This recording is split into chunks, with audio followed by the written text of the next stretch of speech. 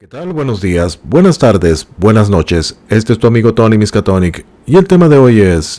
Hola, ¿qué tal? Buenos días, buenas tardes, buenas noches. Este es tu amigo Tony Miskatonic y el tema de hoy es... Se afirma que el príncipe Harry acordó mantenerse alejado de la boda de uno de sus amigos más cercanos por temor a que su enemistad con su hermano William eclipse el evento. Para esta boda, que tendrá lugar en la Catedral de Chester el día viernes, el séptimo duque de Westminster, Hugh Grosvenor, realizó una llamada telefónica al duque de Sussex, al príncipe Harry, para invitarlo a sus nupcias con su prometida Olivia Henson. El evento será la boda del año para la alta sociedad y se ha especulado mucho sobre quién de Harry y William recibiría una invitación dado el continuo distanciamiento de los hermanos. Se ha afirmado que Harry no estará allí después de que el Royal, con sede en California, llegara a lo que una fuente cercana a Hugh describió como un acuerdo civilizado con Hugh para no estar presente en el evento. Esto informó el diario británico The Times. Esto significa que el príncipe de Gales es libre de poder acudir a la boda y participar como acomodador de Hugh, quien ha sido amigo de Harry y William desde la infancia. Al no estar presente el duque de Sussex, se evita la situación potencialmente incómoda de tener que acompañar William a Harry a su asiento durante la ceremonia.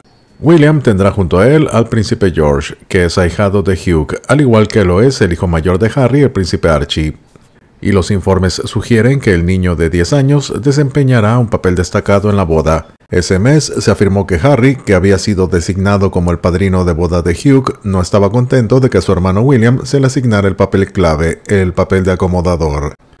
Una fuente bien informada dijo al diario The Mail on Sunday el mes pasado, se le pidió a William que tuviera un papel destacado en la boda, y eso fue lo que llevó a Harry a rechazar una invitación. Aparentemente Harry se molestó por la solicitud cuando pensó que debería haber sido él quien fuera acomodador, posición la cual en inglés es conocida como usher. El año pasado se afirmó que Harry había sido desairado de la boda, pero una fuente cercana a los Sussex se esforzó en explicar a la publicación estadounidense Page Six que tanto Meghan como Harry habían recibido invitaciones, pero habían decidido conjuntamente rechazarlas. A pesar de la incomodidad que rodeó a su boda, Hugh, que normalmente es tímido ante la publicidad, sigue siendo un buen amigo tanto de Harry como de William, y podría unirse a su amigo Harry en California si cumple su objetivo de representar a Gran Bretaña en la competencia de tiro al plato en los Juegos Olímpicos de Los Ángeles 2028. Hugh, quien es conocido como Hughie por sus amigos, es uno de los terratenientes más ricos de Gran Bretaña, después de heredar la propiedad de 10 mil millones de libras esterlinas de su padre a la edad de solo 25 años en 2016, tras la muerte de su padre de 64 años por un ataque cardíaco. Una vez considerado el soltero más elegible de Gran Bretaña, conocidos mutuos le presentaron a su novia Olivia en 2021, Olivia Henson, la futura duquesa de Westminster y novia de Hugh, también proviene de una familia acomodada, descendiente de los banqueros Hoare, así como de los marqueses de Bristol y los duques de Rutland. Olivia habla español e italiano y tiene un título en estudios hispánicos e italiano del Trinity College de Dublín. Actualmente trabaja como gerente de cuentas en Belazzu, una marca de ingredientes para cocina. Además, Hugh, el duque de Westminster, ha sido muy activo en obras benéficas, destacándose por su apoyo a la rehabilitación de miembros heridos o lesionados de las Fuerzas Armadas.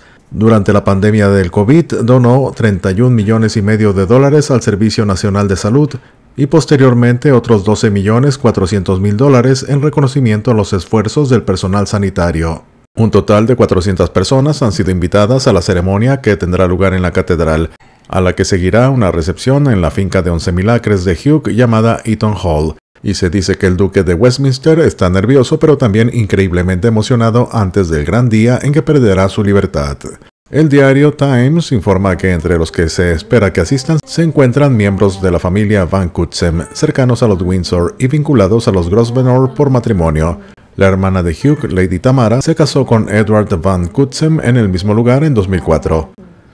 Otros asistentes incluirán a Lady So Warren, la aristocrática gurú del yoga e hija menor del decimocuarto conde de Galloway, y su esposo Jake Warren, ahijado de la princesa Diana e hijo del director de carreras de la reina Isabel II, John Warren. Aparte de William y George, parece que los miembros de la realeza serán pocos y espaciados, y no se espera que asistan la princesa de Gales, ni el rey Carlos y la reina Camila. La esposa de William, la princesa Catalina, se mantendrá alejada mientras continúa su recuperación de la quimioterapia después de que le diagnosticaran cáncer tras una cirugía abdominal importante a principios de este año. Mientras tanto, Charles, que es el padrino de Hugh, todavía se está recuperando del tratamiento contra el cáncer y habrá viajado a través del Canal de la Mancha hacia Francia para conmemorar el octagésimo aniversario del desembarco del día D, menos de 24 horas antes de que se celebre la boda. Se espera que la propia ciudad de Chester vea a miles de personas acudir a sus murallas para presenciar la ocasión, en escenas que recordarán a la de la boda de la hermana de Hugh, donde se estima que unas 4.000 personas se alinearon en las calles. Quienes vengan esta vez podrán darse un capricho. Según se informa, el duque de Westminster pagó a tres empresas independientes para que repartieran helado gratis el día de la boda. También ha hecho una contribución a las flores de verano de la ciudad y una gran fuente cercana a él dijo al diario The Times que el duque estaba ansioso por devolverle su gran conexión personal con la zona. Despide tu amigo Tony Miskatonic y te deseo un buen día.